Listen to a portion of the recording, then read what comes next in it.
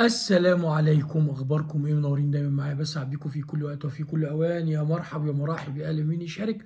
سعادة غامرة دائما بوجودي معاكم دايما يا رب ودايما في أفضل حال دايما في عون الله. الحقيقة إنه إمبارح أعتقد اللايف بتاعي اللي أنتوا سمعتوه بعد المباراة كنت متنرفز قوي وما زلت. وكنت يعني أكاد أكون متوتر وما زلت لكن المرة دي أكثر هدوءا شوية. الحقيقة إنه مباراة الزمالك امبارح مع آه، نهضة بركان وبعد كده ما هديت شوية. اكتشفت إن إحنا لعبنا من أسوأ الأسوأ المباريات بل إن إحنا كنا نستطيع أن نفوز على نهضة بركان لو كنا قدرنا نتعامل مع المباراة أفضل مما حدث. لا شك إنه أحمد فتوح اللي إحنا نضع عليه أمال كثيرة في المباراة اللي جاية كمان خذلنا امبارح. لكن أعتقد إن فتوح بالحافز اللي عنده بعد غضب جمهور الزمالك منه هيكون له دور قوي جدا في فوز الزمالك إن شاء الله تعالى يوم الحد اللي جاي. نفس الشيء حسام عبد المجيد. إن كان أنا لو في حاجة خايف منها فأنا خايف من مستر جوزيه جوميز. طبعا أنا عارف ومقدر إنه في جزء من جمهور نادي الزمالك بيدافع عنه ودي حاجة ما تزعلش. وإنه شايفين إن القماشة اللي معاه هي واللي هي واللي هي. القماشة اللي معاه دي وصلت النهائي ووصلت دور ال 16 آه آسف دور آه دور ال 16 بعدم الخسارة ولا مباراة ومع معتمد جمال. عشان بس ما نطولش في الكلام. خلاص؟ وهي اللي آه عملت تعادلت هنا هنا مع دريمز وفازت هناك. فما نطولش في الكلام ونقعد نقول قماشة. القماشة دي هي اللي وصل بيك النهائي وهي الأقرب للفوز. خلاص؟ أما أقول لك إن المدير الفني بتاع نادي الزمالك ليس أفضل مدير فني يتواجد الآن فوجهة نظري هو ده السليم. لكن إحنا في اللحظة اللي إحنا فيها دي في اللحظة اللي إحنا فيها دي ملناش غير إن إحنا نقول يا مسهل يا رب.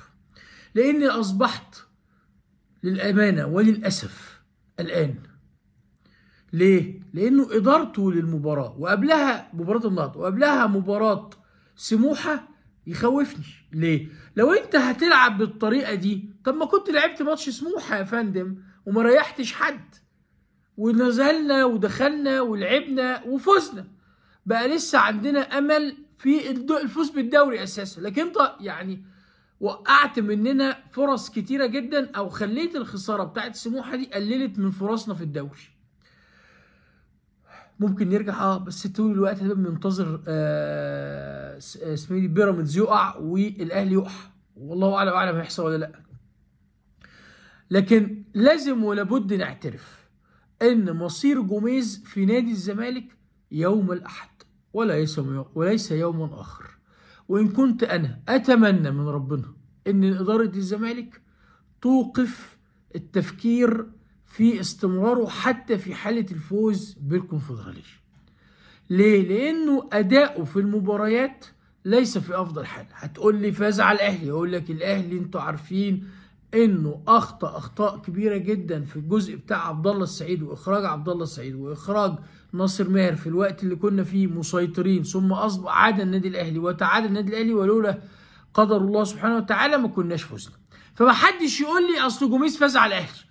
ومحدش يقول لي اصل دي قماشه المدير الفني ما يعرفش يتعامل مع القماشه يقول لنا شكرا ويتكل على الله ويمشي. تمام؟ المدير الفني اللي ما يعرفش يشتغل بالعناصر اللي في إيده ويعرف يطلع 100% منها نقول يقول لنا شكرا ونمشي. يا شادي هل ده وقت إن أنت تتكلم في الموضوع؟ أنت ما بتشوفش جمهور إدارة إعلام الأهلي؟ يبقى في غلط. إزاي بيدعموا المدرب؟ إحنا مش إعلام الأهلي. دي حاجة. الحاجة الثانية إنه أنتوا عاجبكم الأهلي؟ دي تبقى قصة كبيرة. أنتوا عايزين تبقوا زي الأهلي؟ طب ما نبقى زي الأهلي بقى في حاجات تانية. إن إحنا نجيب لعيبة قوية نصرف فلوس عشان نجيب مدير فني كبير. نعمل الحاجات دي. انت عايز تبقى زي الأهلي في حاجة وسيب الباقي؟ لا اما عايز تبقى زي الأهلي في كله؟ لا بلاش. طيب هل ده معناه إن جوميز يعني ما يقدرش يفوز بمباراه لا نقدر نفوز بمباراه خصوصا إن نهضة بركان مش أفضل حال. كنا نقدر نفوز عليها هناك أساسا لو إحنا كنا مش خايفين وإحنا كنا خايفين. لا اللعيبة بتقول إنهم كانوا مرعوبين. لا اللعيبة بتقول إحنا كنا متوترين. يقولوا اللي يقولوه. أي مبرر في هذه اللحظة لا قيمة له. مباراة الحد مباراة مصيرية. لجوميز وللعيبه مصيرية بمعنى كلمة مصيرية. الزمالك بالمباراة دي يحل كل مشاكله. بالاتنين ونص مليون دولار اللي هيجوا يخلص من موضوع المشاكل اللي عنده بتاع رفع الإيقاف بتاع آه منع القيد ويقدر يتعاقد كمان ويجيب ويبقى وصل واحد بياخد بطولات فاللعيبه الأفريقية يحبوا ييجوا ويلعب لسه السوبر الأفريقي وياخد فلوس وحاجات كتيرة جدا. فمن ثم إن المباراة دي مصيرية تماما تماما تماما. عشان كده إيه نادي الزمالك يعني ومجلس إدارته عمل ما يطلق عليها خطة التحفيز. خطة التحفيز. إيه اللي هيجرى؟ هيحصل كذا حاجة. أول الحاجات اللي هتعملها إدارة الزمالك إن هيبقى يكون في معسكر إما يوم الأربع أو الخميس. معسكر مغلق. ليه؟ لأن الناس تبقى فيها تركيز أكتر. ودي حاجة كويسة مش وحشة. معسكر مغلق ده كلام منطقي ومهم. والمعسكر ده هيكون فيه جلسات من الكابتن حسين لبيب والكابتن أحمد سيمان مع اللعيبة. خلاص؟ ثم إن إدارة الزمالك بتدرس الآن مكافاه خاصه إن هو يبقى المباراة دي لها مكافاه خاصه غير مكافأة البطولة الله أعلم بقى إيه أنا ما أعرفش إيه المكافآت الخاصة في إطار كام لكن هم بيدرسوا ده وهيقعدوا مع اللعيبة وهيبلغوهم الموضوع المكافأة وقيمتها كام كل ده ليه؟ لأن إدارة الزمالك فاهم قوي وواعية قوي إن المباراة دي مباراة مصيرية ليهم زي ما هي للعيبة وللمدير الفني. لأن في فلوس هتيجي النادي والفلوس اللي هتيجي النادي هتفك الزنقة بتاعت النادي. وهتدخلهم إنهم يبقوا مجلس إدارة قدر يجيب بطولة قارية مهمة توديه كاس نهائي كاس السوبر أو مباراة السوبر تمام؟ بترجعه تاني للتتويج الإفريقي. يبدأ يشتغل على المواسم اللي جاية عشان يروح كاس العالم للأندية. وإن هو يقدر يغري اللعيبه إن الراجل أدي النادي ده اللي بيرجع تاني وبياخد بطولات وبيفوز و و و فدي خطة التحفيز سببها الأساسي الموضوع الأصلي إنه إدارة الزمالك عاوزة تاخد بطولة والبطولة دي التارجت الأساسي ليهم اللي هي البطوله الكونفدرالية. وبعديها يبدأ إحلال حلال سبحانه وتعالى في الدوري المصري. خلاص؟ طيب.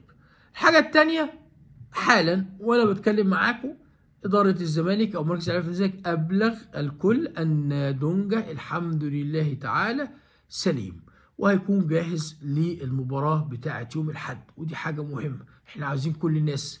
وفي نفس الوقت إيه اللي حصل؟ اللي حصل حسب كلام الدكتور محمد أسامة رئيس الجهاز الطبي لنادي الزمالك إنه نبيل عماد دونجا تعرض لإجهاد عضلي في نهاية المباراة. مجهود ضغط تمام؟ وعشان كده تقرر إنه يخرج من المباراة للحفاظ عليه عشان مباراة العودة ولكنه سوف يكون جاهزا. من هنا جوميز طلب بقى تقرير من الدكتور أسامة انه هو يجهز التقرير ده عن الحالة الخاصة بمصطفى شلبي والحالة الخاصة بمصطفى الزناري الاثنين مصطفى. أنا أعتقد إنهم ممكن يبقوا متواجدين يبدأوا التدريب ما بين الخميس أو الجمعة. وماشي يبقوا موجودين يعني ويدخلوا وإن شاء الله يبقوا موجودين. طيب لكن في حاجة أنا بسأل نفسي فيها وبسألكم. ماذا لو لا قدر الله مصطفى شلبي اللي إحنا أساسا شايفينه مش في أفضل مستوى؟ ما جاش أو ما لحقش المباراة. هنعمل إيه؟ أو إن شيكا اللي بيحارب وبيجتهد اجتهاد كبير جدا وفي العلاج الطبيعي والجلسات عشان يكون جاهز ولو حتى ربع ساعة في المباراة دي ولا نص ساعة على الأقل يعني المشاركة ويؤدي دور. ودي حماسة محمودة جدا جدا من شيكابالا إنه يبقى موجود في هذه المباراة المهمة التاريخية. له إذا حصل على الكونفدرالية يرفعها ودي حاجة أول بطولة إفريقية يرفعها. ومن ثم مهم وجود شيكابالا. فشيكابالا برضو بي يعني بينحت في الصخر زي ما بنقول وبيحاول إنه يعني ربنا ييسر له إنه يقدر يلعب حتى ولو نص ساعة يقدر يعمل حاجة فيها ويساعد نادي الزمالك ويرفع الكاس إن شاء الله تعالى.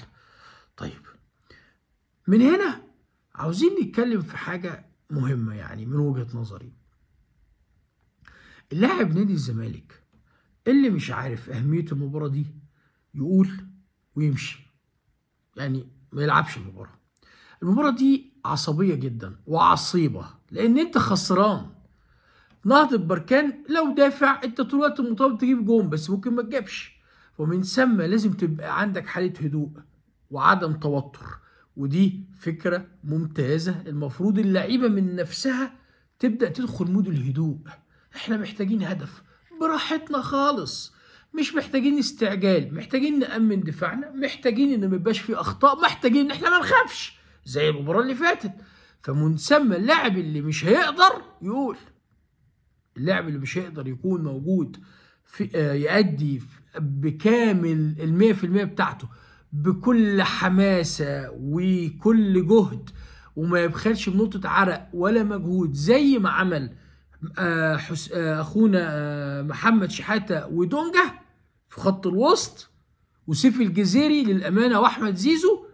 إن كان زيزو أنا شايف إن لسه الإصابة مؤثره عليه لكن على الأقل اجتهد أقصى اجتهاد يمكن يبقى لا كده إحنا في مشكلة في مشكلة كبيرة. صحيح الزمالك عندنا نواقص في الفريق لكن عندنا على الأقل في كل مكان شخص جاهز. يعني عندنا حمزة المسوسي في أفضل مستوى ليه عندنا دونجا في أفضل مستوى ليه عندنا زيزو في أفضل مستوى ليه عندنا سيف الجزيري في أفضل مستوى ليه. دي كلها مراكز فيها لعب وعمر جابر في أفضل مستوى ليه. ناقص إن أحمد فتوح يجهز هو وحسام عبد المجيد. ويبقى الراجل التاني اللي هو أحمد حمدي أفضل من الأداء بتاع مباراة الذهاب ومعاه محمد شحاتة بجهده واجتهاده ورغبته وبيقدر ياخد مساحة ويطلع لقدام ويتحرك وبتاع. أما محمد عواد فحكايته حكاية وروايته رواية.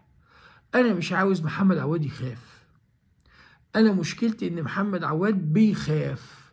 آه بيخاف يخرج في الكرة العرضية. أصل أنا قصير. أنت طول ما أنت عندك إحساس إنك قصير هتبقى مشكلة. أنا عارف إن لعيبة زيك بتزعل من الانتقاد ده. وطول الوقت تبحث عن عن الدعم. وأنا أدعم نادي الزمالك اولا. وأنا تدعيمي لنادي الزمالك بانتقادي لمحمد عواد وانتقادي لأي حد. ليه؟ لأنه الأهم هو نادي الزمالك. وأنت لاعب في نادي الزمالك يا محمد. وطبيعي إن أنت تبقى تنتقد. خصوصا لما يبقى في خطأ وخطأ منك. ولازم ان إحنا نعرف غلطنا عشان نتعامل معاه. مش كده برضه؟ بمعنى إنه إحنا دلوقتي عندنا مشكلة في إن مركز حراسه المرمى عندنا محمد عواد ما بيتعاملش مع الكرة العرضية بشكل سليم. ثم إن هو مثلا مش بيطلع خطوة أو خطوتين بره.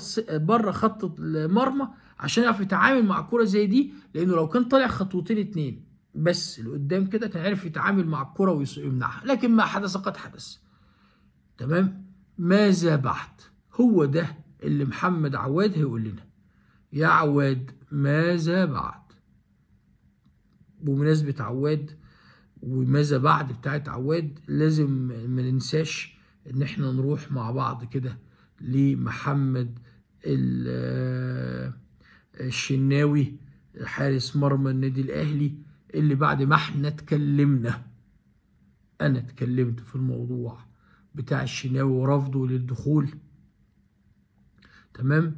المباريات بدأ الكلام إنه محمد الشناوي هي لا ده هيكون متواجد في مباراة الترجي وهيسافر وهيقعد. احتياطي طالما المدير الفني طلبه. كلام كويس. لكن أنا عاوز أقول لكم إن محمد الشناوي يعني بضغوط شديدة جدا جدا هيعمل الموضوع ده. وإن حدث كمان؟ يعني أنا بقول إنها بنسبة 70% آه هيسافر 30% لا مش هيسافر. ومحمد الشناوي زعلان. هنقعد نقول ونعيد ونحكي؟ أنا بقول لكم الحقيقة. ليه؟ لأنه مش فكرة زعلان من مصطفى شبيه هو زعلان منه ما بيشاركش. تمام؟ عنده رغبة المشاركة ودي حاجة كويسة ومحمودة ودي حاجة محترمة في أي لاعب أنا أحترم أي لاعب عاوز يشارك. ويدبدب في الأرض عشان يشارك. ومحمد الشناوي بيدبدب في الأرض عشان يشارك. وهيشارك محمد الشناوي. إمتى بقى دي قصة تانية؟ لكن المباراة بتاعه الترجي لأنها مباراة مهمة جدا وده اللي اشتغل عليه إدارة الأهلي معاه. وأنا قلت لكم هيتدخل الكابتن الخطيب ولا مش هيتدخل يبدو ان في تدخلات. وهيكون محمد الشناوي بنسبة 70% متواجد في البعثة المسافرة إلى الإيه؟ آه التونس. وعشان كده هتلاقي صورة الشناوي وهو داخل التدريب ويصوروه وموقع النادي الأهلي وصفحته لك إيه الشياكة دي وبتاع للعيبة النادي الأهلي وهي داخلة التدريب وبتاع. جو لطيف ومحترم يعني ما نزعلش منه. ومن ثم أنا بقول لكم إن الشناوي بيضغط لسه عشان يشارك. هينجح ولا مش هينجح؟ في نفس الوقت إدارة الأهلي بتضغط على الشناوي عشان يسافر. إما نشوف الضغوط دي اللي راحة جاية دي هتودي الموضوع لغاية فين. الحقيقة إن أنا كنتش عاوز أتكلم في آه كلام عن الكابتن حسام حسن دلوقتي انتظارا لمباراة بوركينا فاسو. لكن الحقيقة أنه أنا عاوز أبدأ كلامي مع الكابتن حسام بالمثل اللي بيقول حص... لسانك حصانك إن صنت صانك وإن خنت خانك. اللسان ده والكلام بمعنى أصح يحسب. وما تكون مدير فني منتخب مصر يعني في 120 مليون واحد مهتم بما فيهم العيال اللي بطن أمهم فلازم يا كابتن حسام تبقى حريص. أوكي عاوز تقول وتكون صريح تتحمل. بمعنى اما أنت تيجي تقول إن مفيش لعيبة في الدوري المصري تستحق تدخل المنتخب. طب أنت هتجيب منين؟ حضرتك قاعد ليه؟ ما تمشي. إذا كنت شايف إن مفيش حد يستحق يبقى ليه قاعد؟ وبعدين حضرتك كنت بتتكلم وانت بره عن إزاي لا اللعيبة المصرية تقدر ونقدر ونقدر ونقدر. ليه التناقض ده؟ ليه تش... طول الوقت حالة التناقض دي عندك يا كابتن حسام؟ حالة تناقض شديدة. الكابتن حسام حسن بيقول يوم السبت حاجة وبيقول يوم الحد حاجة متناقضة تماما. فهو كمحلل كان بيقول حاجة ومدير فني بيقول حاجة. هل دي شماعة؟ ثم انه أنا اما اتقال على اللاعب س أو ص أو ج أو كل اللعيبة المحلية اللي هتضمها ان مفيش لاعب محلي ينفع ينضم للمنتخب. أصدقك أنا كلاعب بقى وأنت واقف بتديني تعليمات إزاي؟ ولا عشان أنت مش لاقي غيري فألعب؟ فين الثقة اللي المفروض تحطها وتبثها في اللعيبة؟ تقول إن اللعيبة مش عارف إيه وإيه وإيه, وإنها أفضل حاجة وإنه إن أنت بتهاجم الدوري المصري. ما عنديش مانع هاجم الدوري المصري لكن تهاجم كمان النادي الأهلي ونادي الزمالك وكل الأندية اللي بتأجلها ماتشات بقى. تمام؟ لكن تقول أنا حطيت قواعد للدوري الموسم الجديد اللي هي إيه؟ ما يمكن ما تعجبناش وتعجبش الأندية. حضرتك بتدير الدوري ولا بتدير المنتخب؟ عاوز تبحث عن إيه؟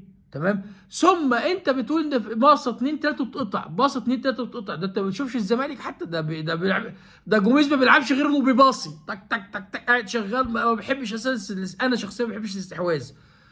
ده ما بيعملش غير التمرير. ويدي لسعد الله سعيد ناصر ماهر يدي لأحمد مش عارف إيه ودونجا يعمل ده ده ما فيش غير التمرير يا كابتن. والنادي الأهلي نفس الشيء.